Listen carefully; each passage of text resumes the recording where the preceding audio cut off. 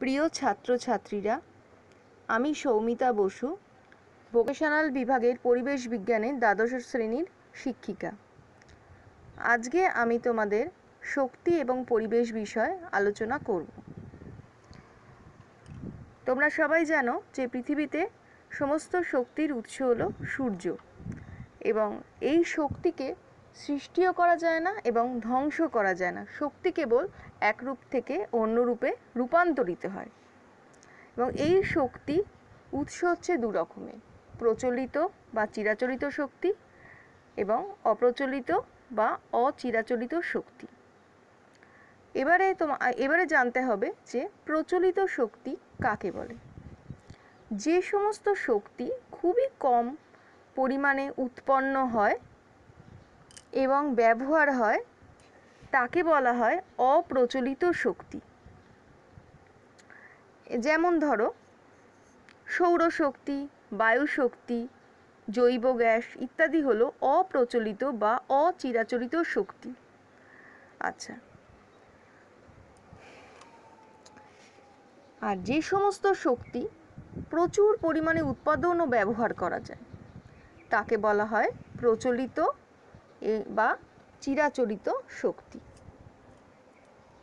চিরাচরিত শক্তি কাকে উদাহরণ কি? না, কয়লা, পেট্রোলিয়াম, প্রাকৃতিক গ্যাস, এগুলো কি, এগুলো হচ্ছে দীর্ঘদিন ধরে এগুলো শক্তি সংগ্রহীত হয়ে আসছে মানে উৎস থেকে। এবং এই প্রচলিত শক্তি কিন্তু একটা লিমিটেশন আছে মানে একটা টাইমের পর কিন্তু এটা শেষ হয়ে যেতে পারে। কিন্তু অপ্রচলিত শক্তি কিন্তু অফুরন্ত পরিবেশে। এটা কিন্তু কোনোদিনও শেষ হবে না। এবার আমি তোমাদের প্রচলিত এবং অপ্রচলিত শক্তির সম্পর্কে একটা আলোচনা করব।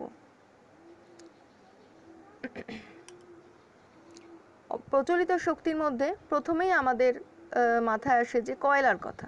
কয়লা একটি অত্যন্ত প্রচলিত শক্তি এবং কয়লা আমাদের কাছে একটু গুরুত্বপূর্ণ এবং পরিচিত প্রচলিত শক্তির উৎস।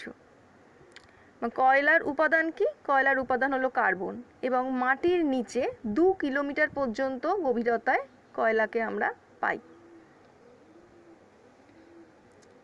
ভূবিজ্ঞানীদের মতে, আজ থেকে তিরিশ থেকে পঁয়ত্রিশ কোটি বছর আগে ভূ আলোড়নের প্রভাবে বড় বড় গাছ মাটির নিচে চাপা পড়ে যায় এবং লক্ষ লক্ষ বছর ধরে ভূপৃষ্ঠের চাপে এবং তাপে সেগুলি, সেই গাছগুলি কিসে পরিণত হয় না কয়লায় পরিণত হয়? এটা আমরা অনেক আগে থেকেই জেনে আসছি যে কয়লার কি করে সৃষ্টি হয়। এবং এই সারা পৃথিবীতে কিন্তু বর্তমানে ভূগর্ভে প্রায় সাতাশ হাজার তিনশো পঞ্চাশ কোটি মেট্রিক টন কয়লা রয়েছে।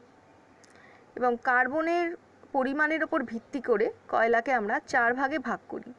অ্যান্থ্রাসাইট, বিটুমিনাস, লিগনাইট এবং পিট। এদের মধ্যে অ্যান্থ্রাসাইট হচ্ছে সবচেয়ে উৎকৃষ্ট মানের কয়লা। পৃথিবীতে বিটুমিনাস কয়লার সঞ্চয় সবচেয়ে বেশি।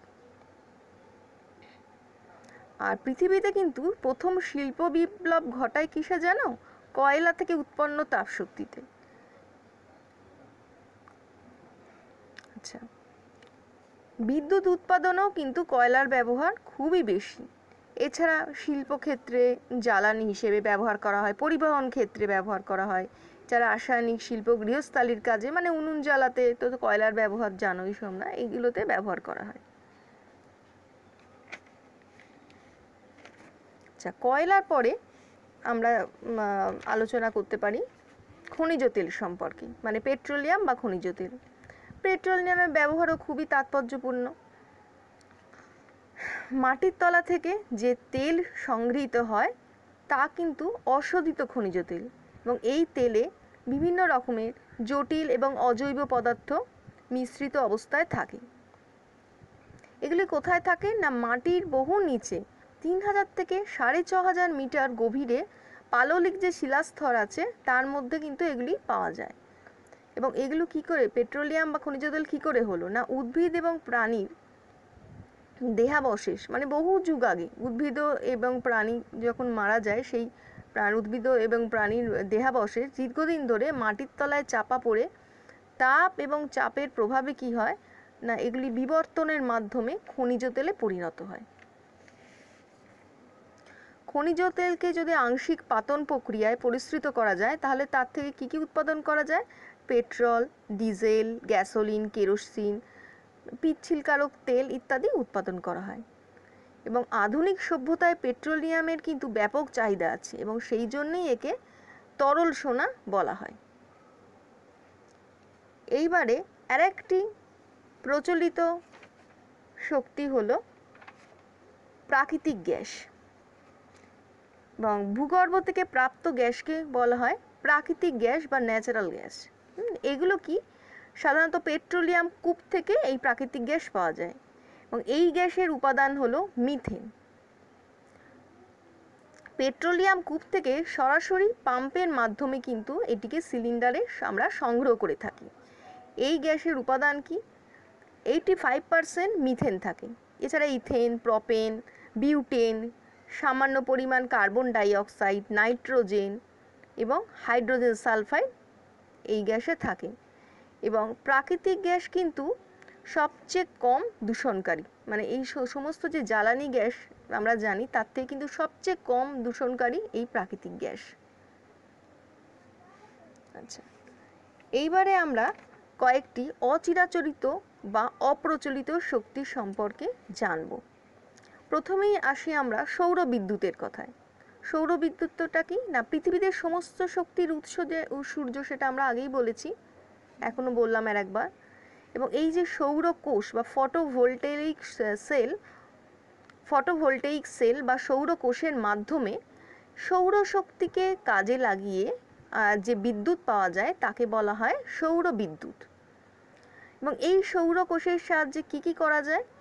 এই সৌর কোষের সাহায্যে গ্রামের রাস্তায় আলো জ্বালানো, তারপর ছোট ছোট পাম্প, রেডিও এবং গৃহস্থালির কিন্তু নানা রকম কাজ করা যায়। সৌর কুকারের সাহায্যে রান্না করা যায়। সৌর কুকারের সাহায্যে রান্না করাটার অনেক সুবিধা হলো যে এখানে কোনো রকম ধোঁয়া বা ক্ষতিকর গ্যাস নির্গত হয় না এবং তাপ শক্তি সংগ্রহণে কোনো রকম জ্বালানি খরচ হয় না, কোনো দুর্ঘটনা ঘটার সম্ভাবনা নেই এবং এই যে সৌরশক্তিতে রান্না করা খাবারের কিন্তু পুষ্টিগুণ নষ্ট হয় না এবং রান্না করা খাবার চার থেকে পাঁচ ঘণ্টা গরম থাকে। হুম কিন্তু এই যন্ত্র ব্যবহারের একটা অসুবিধে যে মেঘলা দিনে বা রাত্রিতে এগুলো ব্যবহার করা যায় না। আচ্ছা এছাড়া সৌরশক্তি সঞ্চয় করে গাড়ি চালানো শিল্প কারখানায় যন্ত্র চালানো, প্রভৃতি কাজে লাগানো যায়। আচ্ছা এইবার আসছি বায়ু শক্তিতে বায়ু শক্তি কাকে বলে? না বায়ু প্রবাহের গতিকে কাজে লাগিয়ে যে শক্তি উৎপাদন করা হয় তাকে বায়ু শক্তি বলে।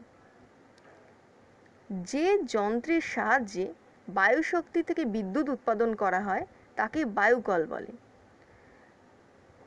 তোমরা হয়তো জানো না, নেদারল্যান্ডে জলসেচের জন্য পাম্প চালানো, ধান, গম ভাঙানোর জন্য কিন্তু এই বায়ু শক্তিকে ব্যবহার করা হয়।